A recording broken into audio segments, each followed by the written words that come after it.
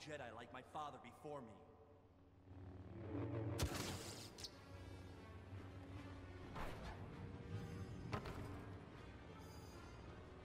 Search your feelings. Let go of your hate. Your defeat is inevitable.